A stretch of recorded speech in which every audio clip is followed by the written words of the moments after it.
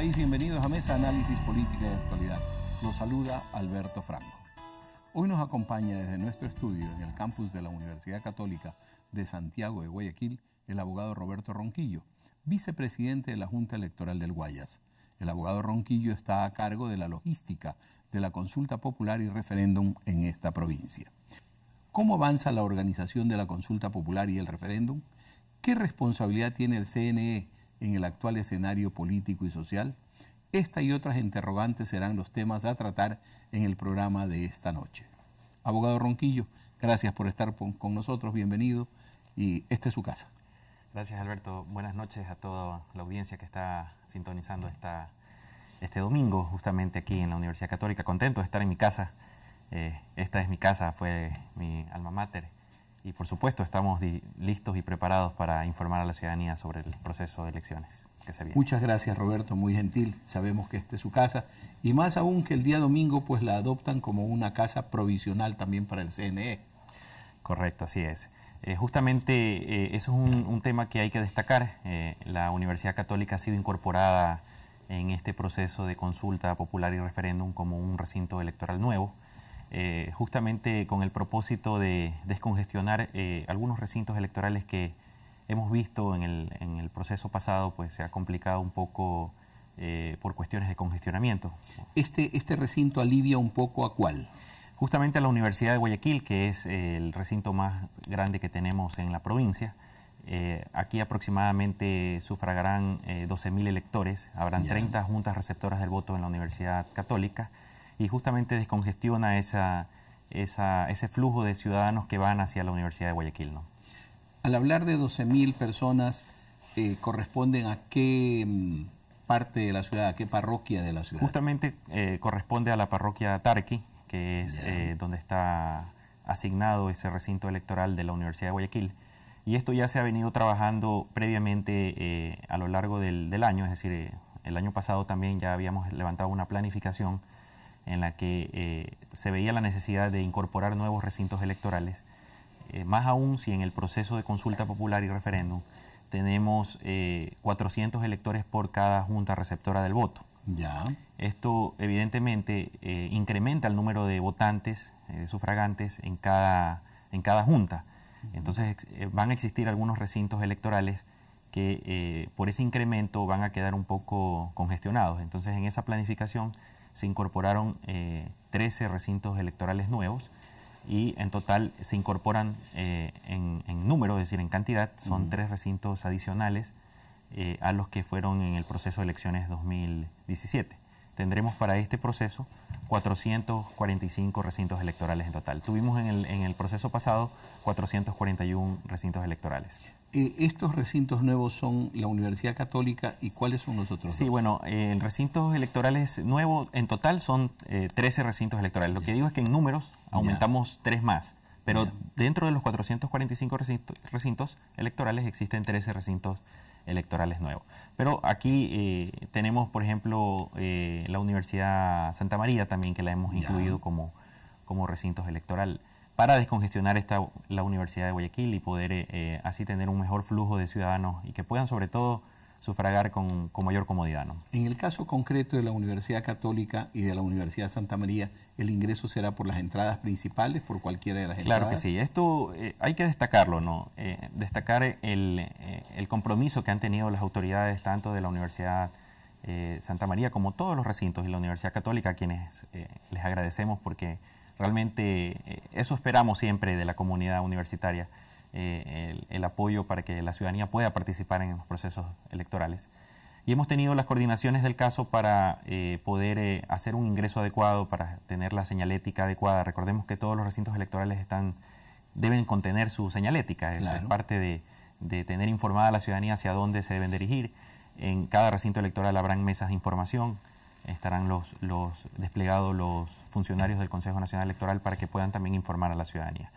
Y también destacar, eh, Alberto, que la Universidad Católica ha tenido una participación importantísima en este proceso de consulta popular y referéndum, porque no solo, se ha incorporado como recinto electoral, sino que también nos ha albergado como, sus inquilinos para justamente poder desarrollar los dos simulacros que se han llevado adelante del pasado sábado 21 y, de este, este sábado 27 justamente eh, para poder, 28, eh, sí. sí, sábado 28, perdón, justamente para poder, eh, poder incorporar el simulacro y, poder analizar cómo ha sido la, cómo va a ser la logística en el proceso de elecciones. Estamos ya justamente en, el próximo, próximo domingo, será el proceso de elecciones y este proceso de simulacro que se han desarrollado en la católica eh, nos permite justamente visualizar toda la logística, porque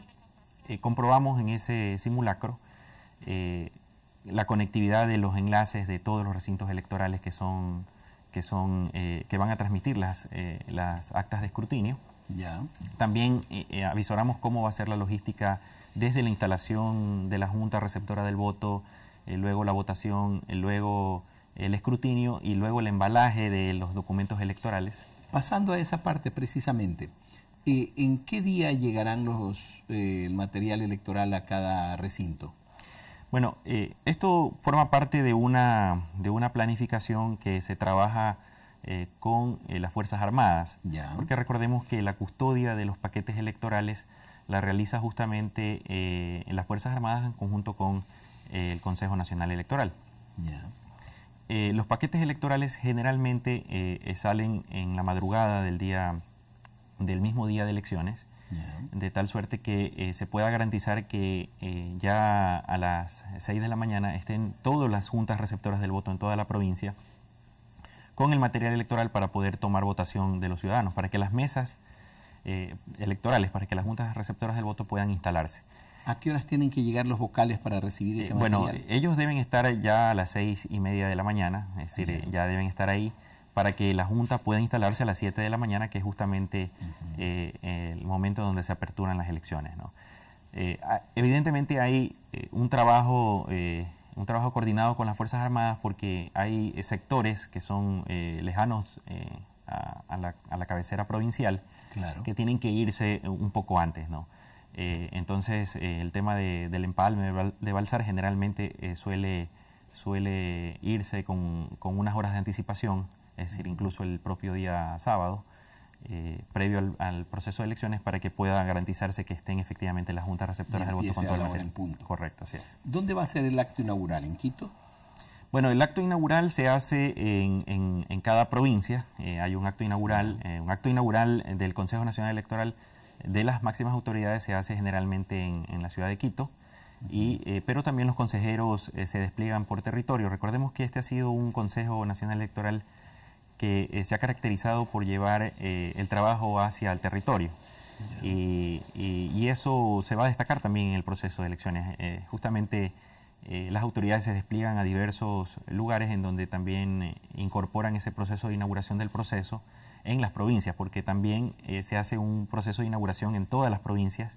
Eh, aquí en Guayas también lo tendremos y, seguramente contaremos con una autoridad nacional del Consejo Nacional Electoral. ¿La señora Villasís va a venir por Guayaquil?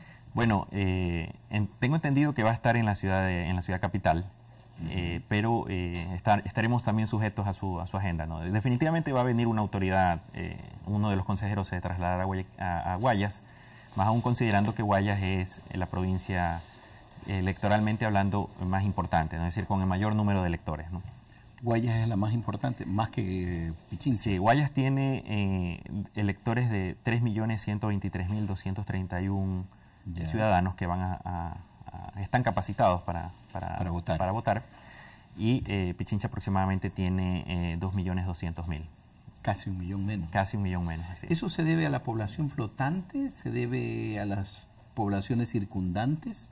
Sí, evidentemente se debe a un crecimiento poblacional eh, que, que, tiene, eh, que tiene Guayas. Evidentemente existe mucho, mucha afluencia de ciudadanos que vienen de, de otras provincias y, ya se afincan ya se afincan acá, eh, cambian su domicilio en su momento y se incorporan obviamente al registro electoral de, de esta, de esta jurisdicción. Pero evidentemente este proceso electoral es muy particular porque eh, los periodos han sido muy cortos, es decir, eh, de hecho, eh, los cambios de domicilio, por ejemplo, que se procesaron para este proceso electoral contemplaron desde mayo hasta diciembre, es decir, solamente aquellos que ingresaron desde mayo en adelante hasta diciembre, hasta el 5 de, hasta el primero de diciembre, se incorporaron en el registro electoral, en el padrón actual, ¿no?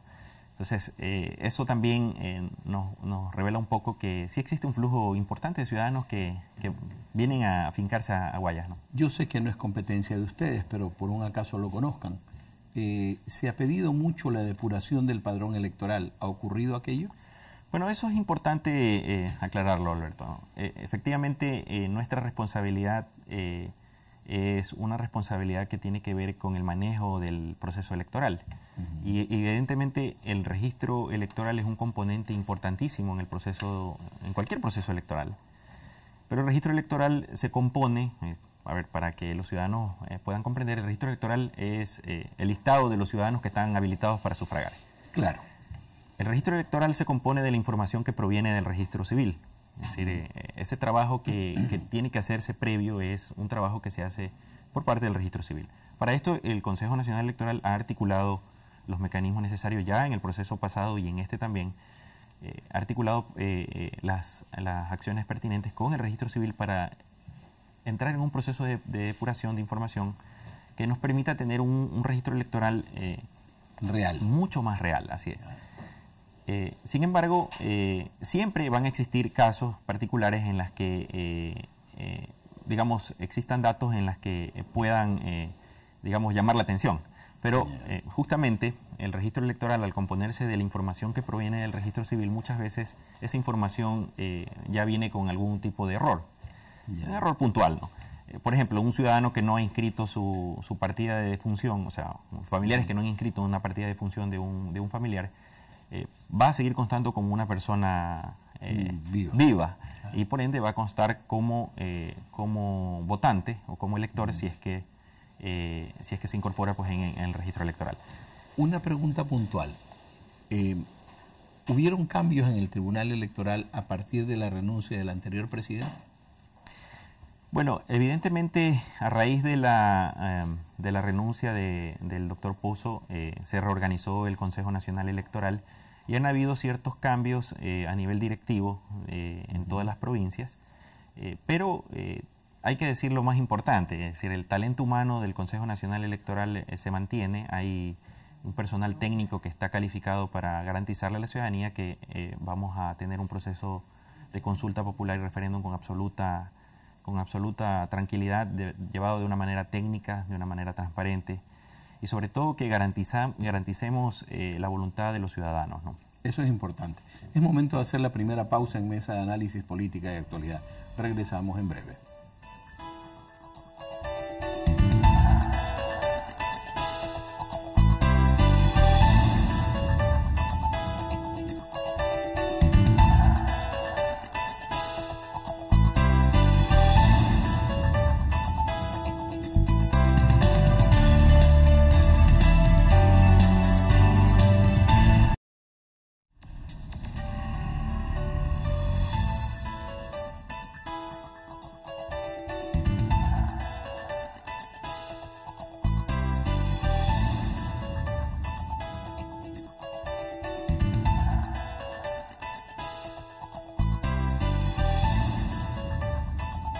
Gracias por seguir en nuestra sintonía. Estamos hoy junto al abogado Roberto Ronquillo, vicepresidente de la Junta Electoral del Guayas. Roberto, pasando a las cuestiones un poco más de logística y de operatividad, eh,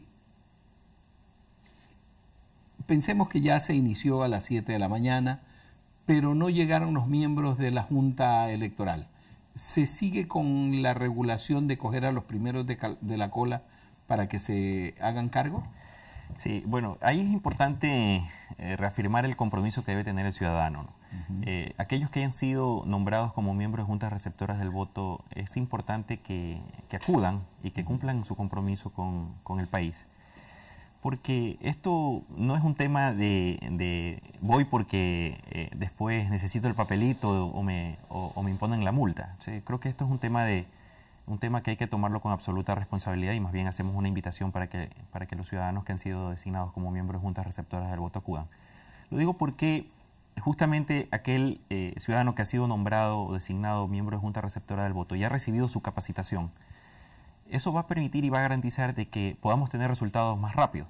Es decir, en aquella junta donde se haga el escrutinio va eh, probablemente a tener eh, un margen menor de errores si es que es una persona que ya recibió su capacitación. Pero si sucede lo que tú dices, que efectivamente no van los miembros de juntas receptoras del voto y, y, se tiene que tomar eh, a través de la fuerza pública, digamos, disponer que se sienten los ciudadanos que están ahí en ese momento sufragando.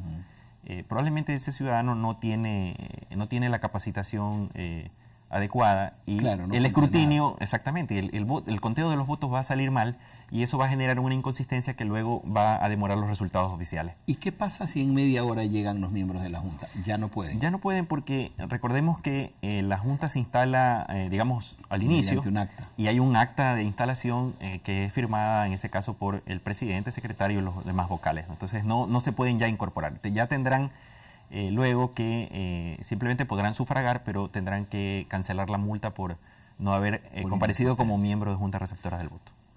Perfecto, ya llegamos. ¿Las votaciones se cierran a las 5 o a las 6? A las 5 de la tarde se cierran las votaciones en todas las juntas receptoras del voto. En ese momento, ¿qué es lo que físicamente tienen que hacer los miembros de la Junta?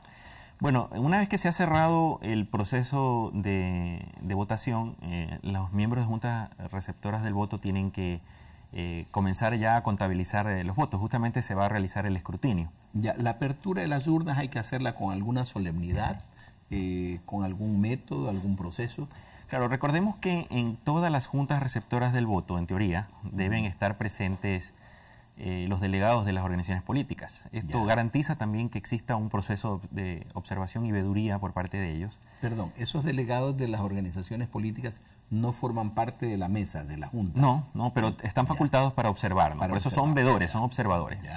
Son, ¿Ellos eh, se acreditan? ellos se acreditan previamente ante el Consejo Nacional Electoral, se les entrega una credencial para que puedan participar en este proceso. Y lo que tienen que hacer eh, las juntas receptoras del voto ya es comenzar hacer el escrutinio. Y por eso es que existe todo un, protocolo en el que se tiene que eh, cumplir. Es decir, ahí van, ellos van a revisar, van a separar las, las papeletas que no han sido utilizadas, porque hay papeletas que no han sido utilizadas. Los, los eh, no, en el, recordemos en el padrón electoral no todos los sufragantes van a ir a, no todos los electores van a ir a sufragar. Siempre hay un ausentismo. Siempre hay un ausentismo. 10, 15 hasta el 20%. Sí, aproximadamente sí, un 20%. Entonces eh, hay que separar eso, bueno, luego eh, ya viene un proceso de, revisión de, la votación y tendrán que separar también las papeletas de, acuerdo a, de acuerdo a las opciones para que se les facilite el conteo. Y también recordar luego que eh, se tendrá que llenar un, borrador de escrutinio, un borrador de escrutinio que va a ir eh, permitiendo consignar en, un lugar visible lo, el conteo cómo se va dando, ¿no? Esto es de que ya la gente va a ir viendo el, borrador de escrutinio. Va, a ir viendo cómo se va exactamente cómo se va contabilizando esos votos, ¿no? Y también eh, algo que es importante decir es que una vez que se ha terminado el, el escrutinio, se tendrá que llenar el acta de escrutinio. Ese acta de escrutinio es justamente existirán eh, un acta por cada pregunta, es decir, eh, siete, actas, de siete actas. de escrutinio que tienen que ser llenadas y esas actas de escrutinio son las que posteriormente eh, se tienen que trasladar hasta el punto de escaneo. Recordemos que vamos a mantener el mismo sistema de transmisión y publicación de, actas. Va a haber un escáner por mesa. No, lo que, lo que hemos diseñado es que en los 445 recintos eh, electorales del Guayas eh, tiene una metodología eh, distinta, digamos. ¿no? Hay 374 recintos electorales que tendrán escáneres. Aquí mismo en la Universidad Católica habrá un escáner por las 30 juntas receptoras del voto que existen. Un escáner es suficiente para para poder transmitir todas las actas que se generan. ¿Cuál es la velocidad de ese escáner? Bueno, eh, realmente eso es, eh, son fracciones de, segundos. Eh, es, realmente muy rápido. Por eso es que se ha diseñado un solo escáner en, toda, la, en toda la Universidad Católica, por ejemplo. si existirían 50 juntas, habrían dos escáneres. Eso ya está comprobado, lo hemos probado. no hay ningún problema con la transmisión de esa, de, esa, de esa información y por eso justamente han servido los simulacros. Y decía, bueno, una vez que se escanea esa acta que también eh, tiene su protocolo, es decir, no, no puede ser llevada esa acta por cualquier eh, ciudadano. Esa acta tiene un, hay un protocolo, tiene que ir un, policía eh, recolector para que él haga también el acompañamiento hacia, hacia el punto de escaneo. Para mantener lo que se llama la cadena de custodia. Y solamente, Alberto, déjame, déjame, indicar algo. Y en, hay otros recintos electorales que eh, no tienen puntos de escáner. Esto es porque tienen, hay un número muy pequeño de juntas receptoras del voto o por las condiciones, eh, digamos, geográficas en donde se encuentran. No hay internet. No hay internet o, es de difícil acceso. Entonces, en esos casos, eh, lo que hemos establecido es que en esos lugares existirá también, un, hay un protocolo que se ha socializado ya con, con las organizaciones políticas. Este protocolo indica pues que existe un policía también transportador de estas actas hacia los recintos de transmisión y publicación de actas más cercanos. Es decir, en aquellos que no hayan escáner se trasladarán hacia los recintos que sí tengan escáner. Más cercanos. Más cercanos, O sea, pero eso demorará en todo caso el escrutinio de un qué porcentaje. No, no, no, eh, no tiene, eh, no se tiene previsto que demore demasiado porque efectivamente esto es una planificación técnica. Es decir, hemos diseñado que estos, eh, estos recintos que no tienen escáner se trasladen hacia eh, los recintos más cercanos y que su periodo no sea eh, más de 30 minutos. Entonces, eh, no va a, ser significativo el, el, traslado de, esta, de estos tiempos, de estas actas, y sobre todo porque también al ser justamente recintos con menos de siete juntas receptoras del voto, también electoralmente eso no, eh, no afecta demasiado. Es decir, el gran, el gran número está justamente en los, en los, que, en los que tienen escáner. Así. ¿En qué tiempo, a partir del cierre de las 5 de la tarde, se planea tener ya eh, resultados que marquen una tendencia? Claro, eh, eso debemos recordarlo. Justamente existe, tenemos nosotros aproximadamente un, un, un, tiempo estimado de unas tres horas, es decir, aproximadamente a las 8 de la noche. 8 de la noche tendremos unos resultados preliminares, eh, y esto hay que aclararlo, son preliminares porque no son oficiales. El oficiales se, se, culmina cuando eh, terminemos el escrutinio como tal, y esto implicará recursos, eh, todos los recursos judiciales posibles incluso. Estamos hablando de resultados preliminares, pero para poder llegar a, resultados preliminares en ese tiempo, el Consejo justamente va a desplegar una, un proceso, un programa, que es justamente el tema de, conteo rápido. Es decir, tenemos nosotros, eh, vamos a generar un, conteo rápido del Consejo Nacional Electoral. El conteo rápido es justamente sobre actas efectivamente escrutadas, es decir, actas ya de resultados, actas de escrutinio. Eh, una muestra aleatoria, aquí serán aproximadamente 490 eh, juntas que serán, digamos, actas que serán tomadas aleatoriamente para hacer el conteo rápido. Eso nos va a permitir ya en tres horas tener resultado, una proyección. Y luego entra la fase ya de, los resultados oficiales, que eso tiene su propio proceso, ¿no? Recordemos, las actas de escrutinio que, se producen en las juntas receptoras del voto, tenemos un sistema que nos permite identificar aquellas que son válidas, automáticamente van alimentando la información del resultado del resultado preliminar. ¿Y cuáles son las actas no válidas? Y las actas que no que, que tenemos que tratarlas justamente nosotros en las juntas provinciales electorales en todas las provincias, son aquellas actas que eh, tienen inconsistencias y las inconsistencias pueden ser de tres formas. ¿no?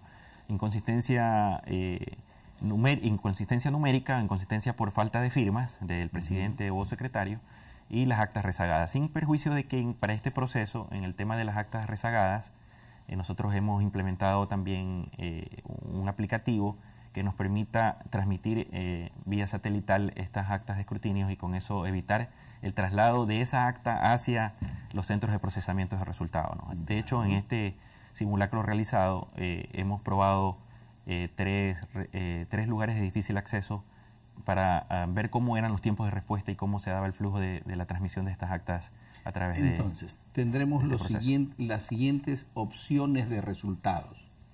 Primero, el resultado de boca de urna. Así es. Ya. Ese se lo va a tener inmediatamente que se termina, 5 de la tarde. Ese, no, ese se va a tener aproximadamente, eh, bueno, pero eso lo generan las, empresas eso privadas. las, empresas, privadas, y existen dos empresas que se han acreditado para ese proceso. ellos van a dar esos resultados a las 5 de la tarde, tengo entendido. Ellos van a dar sus resultados. Resultados de Exit Poll. Luego tenemos resultados preliminares en unas tres horas. Así es, que es el tema del conteo rápido realmente. El que... Ya, conteo rápido en unas tres horas. Correcto. Y resultados preliminares cuasi oficiales. Sí, justamente estamos calculando que eh, nuestros resultados estén ya al 100% el día siguiente de la elección. Eso es eh, la proyección y planificación que ha hecho el Consejo. Eh, esperemos que eh, todo esto dependerá, por eso es que es importante eh, la participación de la ciudadanía. Es importante que en las juntas receptoras del voto se haga el conteo de voto de manera adecuada, porque si no se genera un conteo adecuado de votos, si, existe un número muy alto de inconsistencias en, cada junta receptora del voto, el proceso de escrutinio se demora y se tomará algunos días, porque eso implicará que tenemos que en las audiencias públicas de escrutinio hacer incluso el tema del conteo voto a voto. Un par de preguntas rapiditas porque se nos acaba el tiempo. ¿Cuál es el estado de los recintos electorales? Eh, bueno, el estado es perfecto para el proceso de elecciones. Se ha hecho ya un, recorrido por todos los recintos electorales. Esto, recordemos que el, Consejo no articula este proceso solo. Se vincula a una mesa de seguridad. Eh, tenemos activado eh, reuniones periódicas con el Ministerio de Educación, en el tema del acceso, el tema de la, de la, electricidad también lo coordinamos de tal suerte que pueda garantizarse que los ciudadanos efectivamente puedan sufragar sin ningún contratiempo justamente en el proceso de consulta popular y referéndum. Y también es importante la articulación que hacemos con la Secretaría de Riesgos, porque estamos monitoreando constantemente este tema. Recordemos que estamos en etapa invernal y eso nos puede acarrear algún, algún inconveniente. Entonces estamos permanentemente en contacto para solventar cualquier eh, problema que, se suscite. ¿no? ¿Cuál es la proyección del estado del tiempo para el día? Bueno, afortunadamente en este momento no hay, eh, no hay anuncios, no hay de, anuncios de, lluvias, así que esperamos que se mantenga se mantenga el tema. Roberto, te agradezco infinito. Se nos quedan algunas preguntas en el tintero, las finales a lo largo de la semana. Podemos nuevamente conversar para sacar algunas dudas de encima. Con todo gusto. Muy, Muy amable. Agradecemos a nuestro invitado por haber estado con nosotros y a ustedes amigos por habernos acompañado tal como lo hacen semana a semana. Por mi parte nos encontramos en una próxima emisión de su programa Mesa Análisis Política y Actualidad. Será hasta pronto y hasta ese momento, pero lo hago no sin antes dejarles un mensaje por la paz. Busquen la paz en ustedes en su quehacer diario, incluso en esos momentos de grave contrariedad, busquen la paz y a través de esa paz lleguen a la felicidad. Hasta otro momento.